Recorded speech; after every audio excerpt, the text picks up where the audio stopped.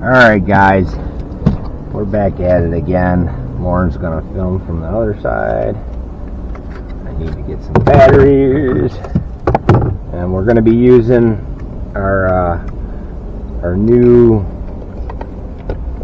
CNHL 120C 2S LiPo. See there's two right there, 2S. Um, and this is for the CW Creations uh, DT02 Speed Run Challenge. Um, this one is the Desert Gator, and we're running in the brush category. This is stock 1060 ESC retail version. Um, and we, the only thing different from last run, got still got the super stock RZ 12 turn. Um,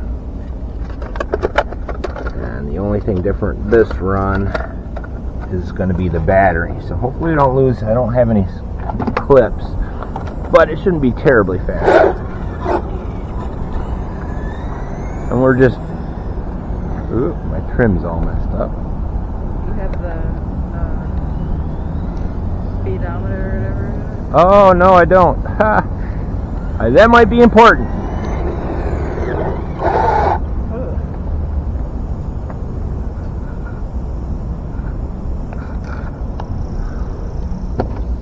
did that go?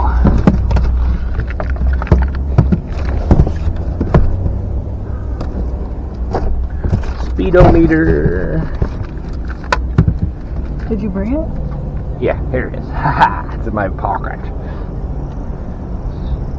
Sorry for the delay, guys.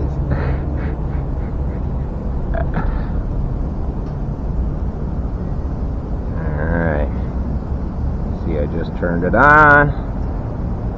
I saw you, Greenhawk. You guys are freaking awesome. Uh, hopefully that uh, your secret weapon will come in handy. And I'm hoping we don't flip it, so the, if it flips, then we won't count this. But I'm going to do my best not to flip. So, Alright.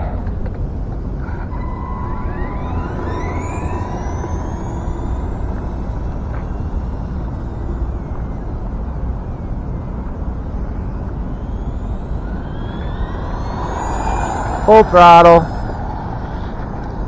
Ooh, that was just letting off the gas. That's awesome.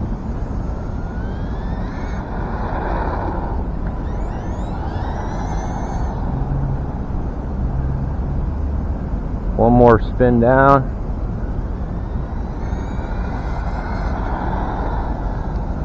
And we'll bring her back. That was a nice clean run.